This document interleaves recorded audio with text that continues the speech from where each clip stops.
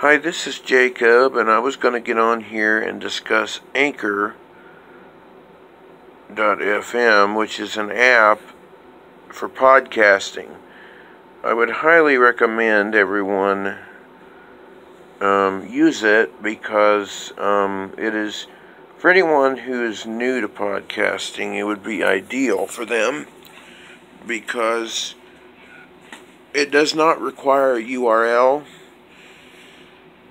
um, and you just simply download the app, create an account, and start podcasting. It's mostly meant for short bursts of podcasts, and I'm on there quite often. And anyone who would like more information, please comment below, and I will get back to you.